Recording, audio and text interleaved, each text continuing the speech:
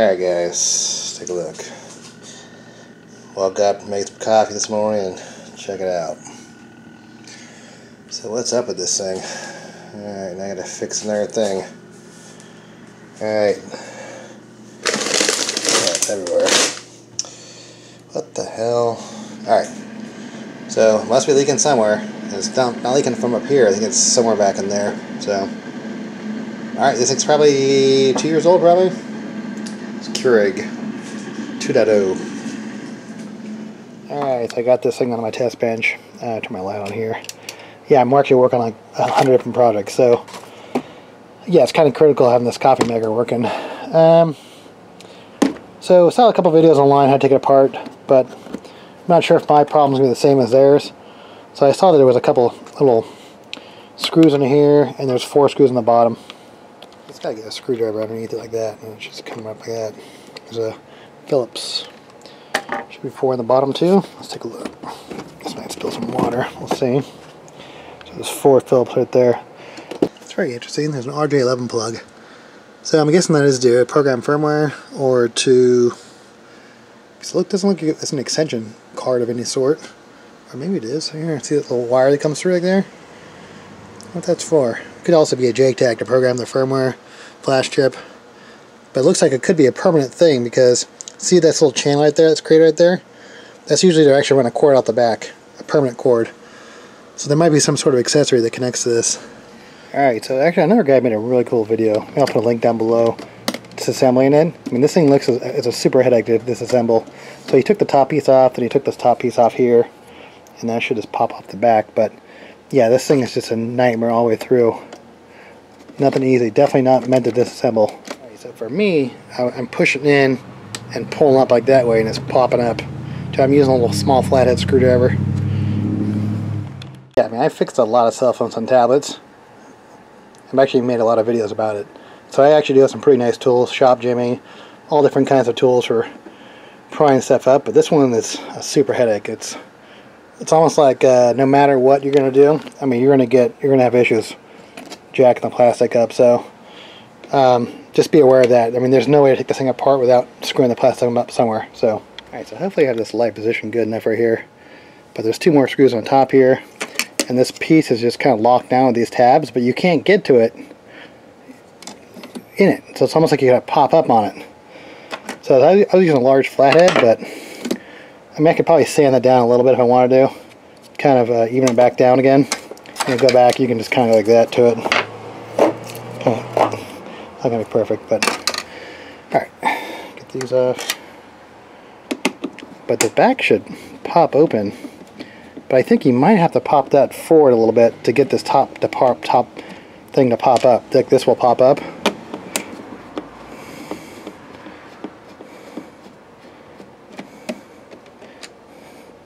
Alright.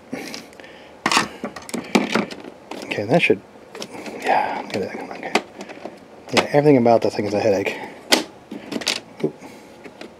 I figured that's probably what it was. It seemed like it was maybe a bit. I got an ant in there. Uh oh. freaking ant. Ant get in there. Um, so that's just a vent that goes on the top there. Alright. So I think it's assuming the same thing. This thing should pop up. Should probably do the same thing, snap around the, the edge here. God, what a headache. Alright, so I got the kind of popped up a little bit around these holes like that. I was hoping I could do this without taking the front cover off, but is that all one piece? Yeah, looks like it is. Yeah, because I want to be able to see what's what's going on with this thing. Where's it leaking from? Alright, so there's lots of hose everywhere. Hmm. You guys can see this stuff in the light. I know my light sucks on my workbench. Um, so see those tabs right there? You basically have to push down on this thing. So I grab both sides of my hands and I pushed down on it. But I made sure it was off the ledge here. And then that should just come forward like that. Alright, I don't think this is exposed enough where I can see where the water's leaking from. And this whole, looks like it's there two more, there, screw there. But I think this whole thing should just pop forward. I'm actually able to pop this other cable, this case off right here. Alright, so this just lifts up. I don't know if I can do the one hand or not, but it, I already got one side off. I'll show you that. There, like that. The whole back piece, it looks like it just comes right off.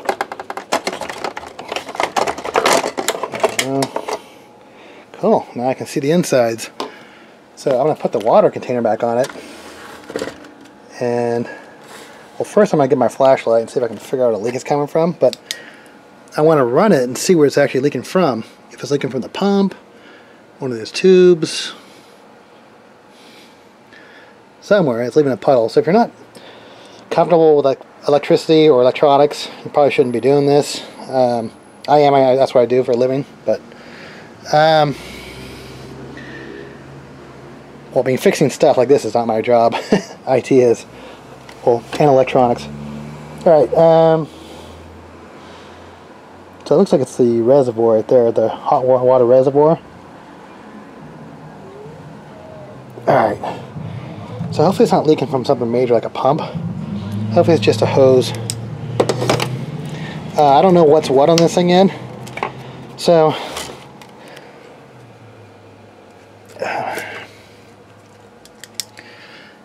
I'm guessing that's the main pump right there.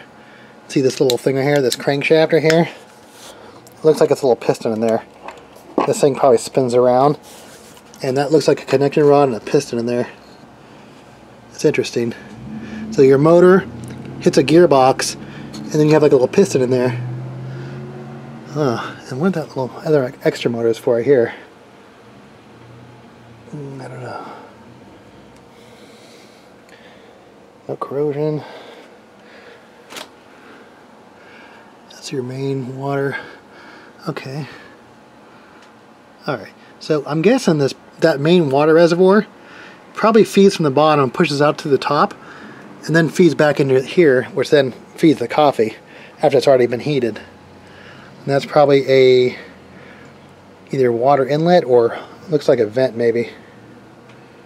Alright, I'm going to get my water reservoir and we'll do a test cup here. Alright. Make sure you plug in this in with a good ground, especially if it's a water leak.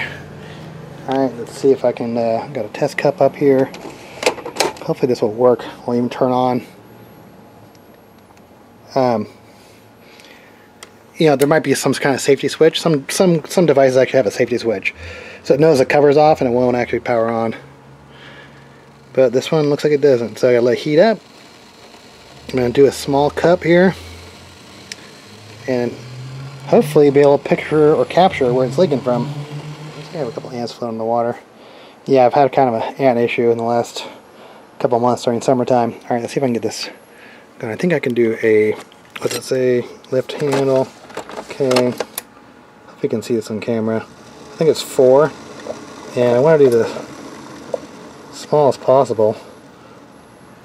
Four. And then go.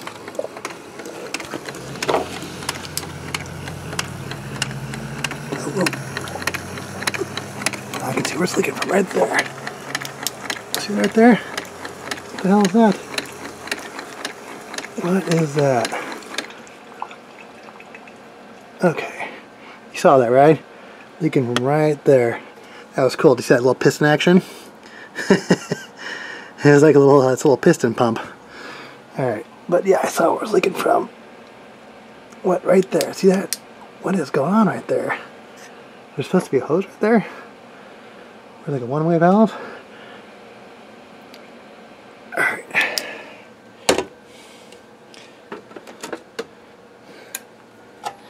Alright, so that thing is just actually a little drain. So I think it's leaking from up here, either on this T-fitting right here, or that thing right there. Somewhere in there. And it's leaking down from there, and then draining back into that little catch area, which then drains to the bottom. So I'm going to do another test run here with the cup and we'll uh, I guess I couldn't see when the when the water water reservoir was on it. So alright so I think I figured it out with my flashlight on. So I, I touched that pipe right there this little thing right here and then just it just fell apart. Let me put that on my light here. But this little thing right here it was actually in there but it was just soup I barely touched it and it broke off so this thing was probably weak and cracked, so I'm going to take this thing off maybe I can glue back together. I mean, I don't even know what this part is. I mean, I can look online. Um, I hope you guys can see this that thing, but the valve should just come up like that. Here we go. Huh, the whole thing just disintegrated on me. Wow. Alright, so what is this thing? I mean, to me, it looks like some sort of filter, right? Or a one-way check valve of some sort. But the plastic just totally disintegrated right here. So I'm going to go online and see if I can figure out what this is. Alright, so I went online, and I can't figure out what the hell this thing is. But whatever it is, it's clogged. I've tried blowing it on both sides, and whatever's in there, it's clogged. So, I'm going to keep on looking, see if I can find the part. But, whatever it is, it's connected right off the air pump. So, I did some more research. This is a little air pump. It's like a backflow purge air pump. And it comes back up around, and it feeds into that thing. Then it also looks like it comes back and it feeds into some sensor. So it comes back in here. There's some kind of probably like pressure sensor on the motherboard right there that controls like uh, it will detect like air pump pressure probably. Um, and then it goes back and it feeds the top of the uh, of the heater here. But I don't think it's the main water control valve. I don't know if it's just like a some sort of like purge or it would have to be obviously purge. That's why it's connected to the air pump and not the main pump. So I mean I guess I can take like a I can try to sand this down and glue a new uh, sort of like some kind of T fitting on there. Um, like I said, but that thing is, I think it's, whatever that is, it's clogged. And I don't think it's a check valve. I mean, it could be, but I can't blow on it either way. So I might hit, my, hit my air compressor, see if I can free it up. Um, but I guess I could use like an automotive T valve if it's just a filter. Alright, so you can't find this part anywhere, but a couple different solutions you could probably do. I'm going to try that to see, see if it works. I'm just going to pop this one on there temporary, see if it actually fixes it. Um, but I might try to glue on or epoxy on a, new T fitting here. Um, but you actually can take it apart. See those little two tabs? Um, hmm. Alright, so I'm going to see if I can just slide this hose on there and do it. We'll do a test, uh, test go. This whole thing is just disintegrating. Like I said, I have a whole bunch of automotive T's. So I'm just going to try to get that going. Just to see if that's actually where the leak is coming from. It has to be because this thing is just so brittle, it's just breaking apart. Alright, so right there. So it's behind there if you can't see it. The T, you know, obviously the pressure relief thing is not connected here. So uh, I'm going to do another test cup, see what happens. Put the reservoir in there, see if it leaks. Alright, so I'm going to do another test cup here. Four ounces. Remember before it was leaking. Uh, I can already hear it coming out of the cup. So before looking right from that hole right there, you can see where the drip is coming from.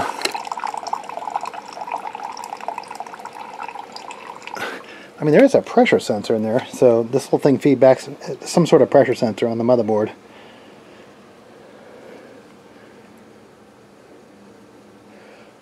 So that was four ounces. I mean, I don't really like the idea of not having a pressure, like a pressure relief valve on there. So, um, I know where the leak's coming from now. What's weird is everybody seems to have a, a, leak from a different spot. So mine just happens to be some brittle plastic. I mean, I've seen different, on different videos of air pumps going bad. Uh, different areas. So let's do it again. Alright, so this actually is, is a, a pressure relief valve. It does separate. But it's a high pressure relief valve. So my thought is, I mean, since I can't find this part anywhere, I'm just going to go with the T and, I mean, dude, it was already leaking from there already. you know what I mean? It was already leaking from there. So if I have a high pressure situation, it's just going to blow off one of these valves here. And what's it going to do? Leak from the bottom just like it did before? So, um, yeah, I guess I could throw water into like this motor here, but that's not going to be a high voltage motor. It's probably going to be a DC motor, maybe 12 or 5 volts, 24 tops. Um, you know, you don't really want it to get in the uh, the mains, of the 110 down here, but you know, I mean, it could have been doing that already. I mean, it could have been leaking from that way, as is, just because. I was looking at this valve, and you, if you just touch it, the whole thing is just so brittle. It doesn't even make sense to try to glue on a valve to it because um, it's just going to keep on breaking. It's just going to it's going to shred. So I don't know why this thing, if it got super overheated, um, or what exactly happened to this thing, but I mean, it's not usable, so I'm going to put it back together. I'm going to run a couple more test cups through it. Um, obviously, then I'm going to thoroughly clean it when I'm done with it. You know, run all the, the special Keurig stuff through it. The uh, I think it really, the stuff, I forget what they call it, but it's probably just to break up any sort of like, uh, I don't use tap water in this thing. I always use like purified water. But if you're using like tap water, you have like a lot of calcium and lime buildup. So I'm going to run our cup through it and see what happens.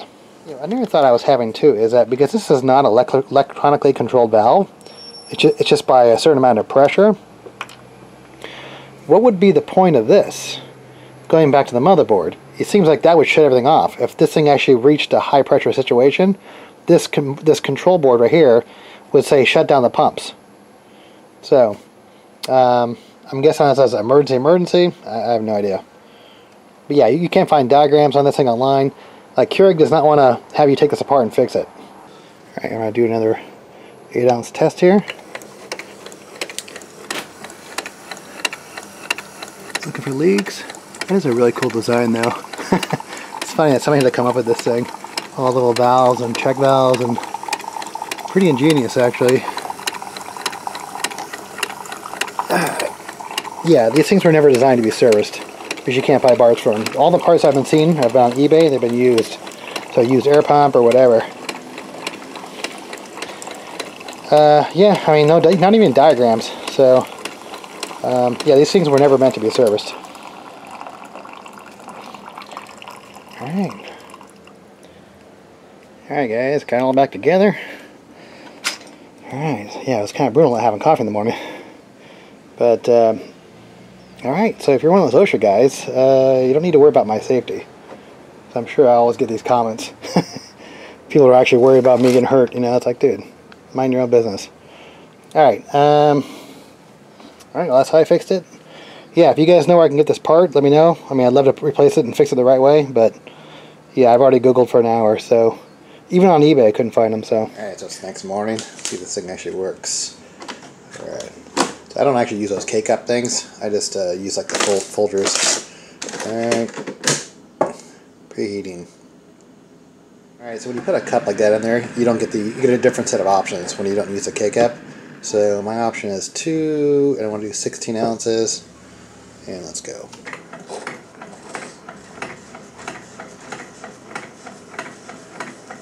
Alright, got some water coming out. Looking for leaks. Make sure you have a good ground. Alright, I'll come back. Alright, so we have a cup of coffee in there. Alright, awesome. Yeah, because this thing was like 200 bucks. And uh, it had all the accessories too. Alright, awesome. I think it's a fix, for now at least. Um, yeah, if I can find that part, I'll find that part, but yeah, uh, they, they didn't design this thing to be able to be serviced. So, alright guys, cool. Keurig 2.0.